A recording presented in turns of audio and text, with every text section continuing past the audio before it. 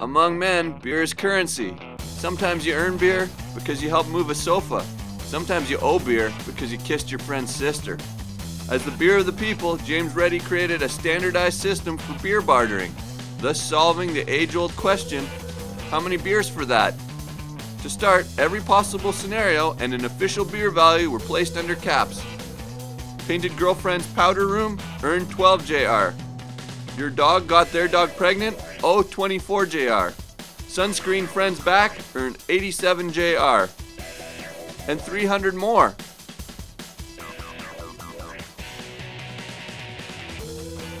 On the back labels, which guys always peel, were fill in the blank owing and earning agreements. This made it easy for guys to settle future barters.